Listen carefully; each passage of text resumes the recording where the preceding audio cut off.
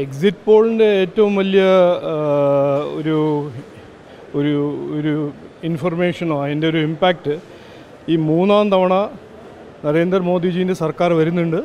അതും ഒരു two thousand നയന്റീനിനെക്കാട്ടും ഒരു വലിയ മാൻഡേറ്റ് കൊണ്ടാണ് അദ്ദേഹം വരുന്നത്. അതൊരു ക്ലിയർ ആയിട്ടൊരു മെസ്സേജ് എക്സിറ്റ് പോൾ പറയുന്നുണ്ട്. ഇനി കേരളത്തിന്റെ റിസൾട്ട് നമുക്ക് നാളെ കാണാം. തിരുവനന്തപുരത്ത് അടക്കമുള്ള മൂന്ന് സീറ്റുകളാണ് പ്രധാനമായും എക്സിറ്റ് പിക്ക് അനുകൂലമായി പറയുന്നത്. അങ്ങനെ ഒരു സാധ്യത കാണുന്നുണ്ടോ? ഞാൻ ഇപ്പോൾ ഇന്നിപ്പോൾ പറയുന്നത് പറയാൻ പോകുന്നത് സൗത്ത് ഇന്ത്യയിൽ ബി ജെ പി ആയിരിക്കും ഏറ്റവും വലിയ നാഷണൽ പാർട്ടി.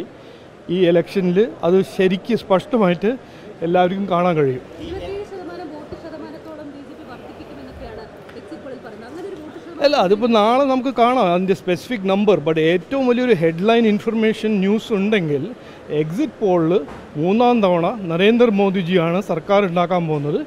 ഇവിടെ നമ്മൾ ഇന്ത്യൻ മുമ്പോട്ട് കൊണ്ടുപോകാൻ ജനങ്ങൾ നരേന്ദ്രമോദിക്ക് ഒരു വലിയൊരു ഭൂരിപക്ഷം ഒരു വലിയൊരു മാൻഡേറ്റ് ഇപ്രാവശ്യം തന്നിട്ടുണ്ട്. ആ. തിരുവനന്തപുരമാണ്. തിരുവനന്തപുരത്ത് പലതരത്തിലുള്ള ചർച്ചകളുണ്ട്. അപ്പോൾ അവസാനം നമ്മൾ വിലയിരുത്തുമല്ലോ തെരഞ്ഞെടുപ്പൊക്കെ കഴിഞ്ഞ്. ആ വിലയിരുത്തലിൽ രാജീവ്ജിക്ക് മനസ്സിലായതുണ്ട്? എനിക്ക് മനസ്സിലായിട്ട് ഇവിടെ എല്ലാവർക്കും നമ്മുടെ നാട്ടിൽ കേരളയാണോ ഇന്ത്യ തമിഴ്നാടാണോ സൗത്ത് ഇന്ത്യയിൽ എവിടെയാണെങ്കിലും ഇന്ത്യയിൽ എവിടെയാണെങ്കിലും നമ്മൾ പത്ത് കൊല്ലം നരേന്ദ്രമോദിജി ചെയ്ത പണി ഇന്ത്യന് മുമ്പോട്ട് കൊണ്ടുപോകാൻ ചെയ്ത ഒരു പണിയും പരിശ്രമവും അധ്വാനവും അതെല്ലാം ജനങ്ങൾക്ക് ഇനിയും വേണം. അഞ്ച് കൊല്ലം പ്രധാനമന്ത്രി നരേന്ദ്രമോദിജിന്റെ ആ ഒരു കഴിവും അദ്ദേഹത്തിന്റെ ഒരു അധ്വാനവും ജനങ്ങൾക്ക് വേണം. ഒരു വികസിത ഭാരതവും ഒരു വികസിത കേരളവും വേണമെന്നാണ് ഇനി ഞാൻ കണ്ടുപിടിക്കുന്നത്.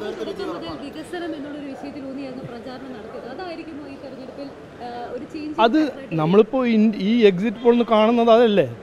ഇന്ത്യയിലെ എല്ലാ വോട്ടറും അതല്ല പറയുന്നത്. ഞങ്ങൾക്ക് ഇങ്ങനത്തെ ഒരു നോണയന്റെ രാഷ്ട്രീയമോ ഒരു ഡിവിസിവ്നെസ്സിന്റെ രാഷ്ട്രീയം അല്ല വേണ്ടത്. ഞങ്ങൾക്കൊരു പുരോഗതിയും വികസനത്തിന്റെ രാഷ്ട്രീയമാണ് വേണ്ടത്. അതുകൊണ്ടല്ലേ നരേന്ദ്രമോദിജിക്ക് മൂന്നാം തവണ ഒരു മാൻഡേറ്റ് കിട്ടുന്നത്? തിരുവനന്തപുരത്തെ വിജയം ഉറപ്പാണോ? അത് നമുക്ക് നാളെ പറയാം നാളെ കാണാം